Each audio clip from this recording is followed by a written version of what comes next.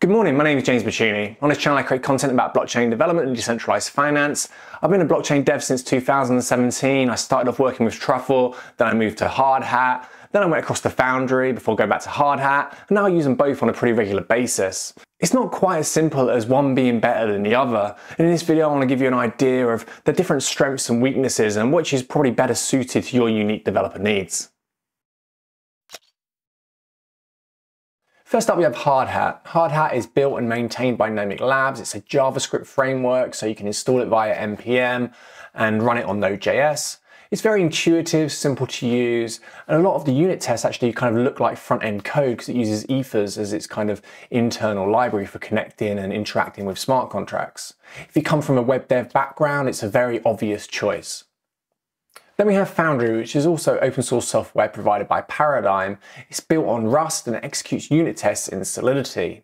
Foundry is actually a collection of tools. So you've got Forge, which is the main kind of testing framework where you'll execute the unit tests from. Then there's Cast, which is used like a command line tool for executing on-chain transactions.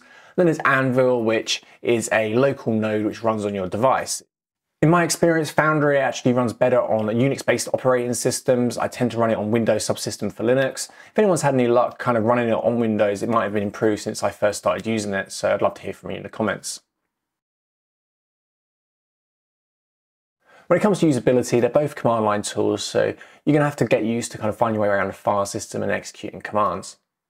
Foundry is kind of marketed as the software for professionals or senior Solidity developers, and while that might be somewhat true and it has quite a lot of tools for kind of sophisticated, almost security focused work, I don't think it sh you should be fooled into thinking that it's a more professional framework. In my opinion, it's got kind of a certain quirkiness about it that has unusual naming conventions and it's more like a personal open source project rather than like a professional framework.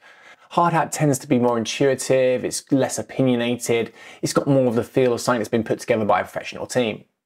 When it comes to speed and performance, Foundry is the clear winner. It executes unit tests much faster than Hardhat.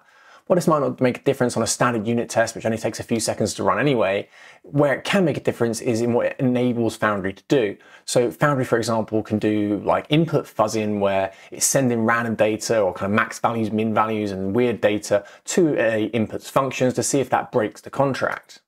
The improved performance speed from using Rust on the back end to execute these tests means that you can do more kind of brute force inputs and high volume transactions within a local test environment.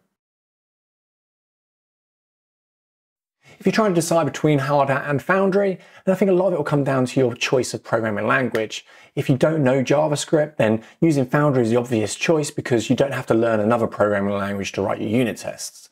If you're coming from a web dev background and you're already using Ethers on the front end, then using Hardhat means that you can kind of use very similar uh, code on your unit tests to what you're using on the front end, or if you're passing it off the smart contracts to front-end developers. You can give them unit tests and it'll kind of give them almost like documentation of that they can copy and paste into their kind of front-end code, which is also running on Ethers, so they can know how all the different functions within the smart contract work. If you're the kind of person that's brought up writing drivers for Linux from a young age, or you look at this from a security focus and you kind of do auditing and smart contract probing and trying to break smart contracts, then I think Foundry is the better option. It's got more tools for that kind of work.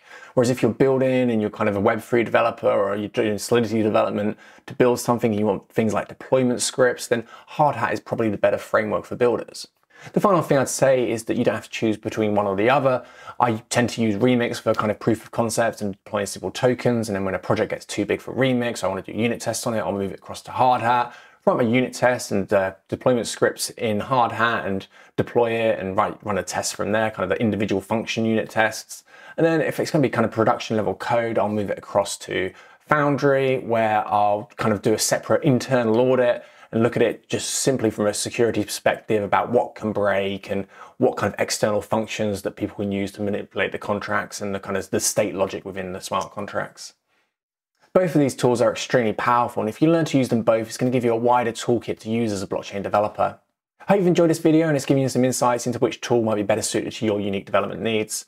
If you want to learn more about blockchain development and decentralized finance, subscribe to the channel, hit like button for YouTube algorithm, and thank you for watching.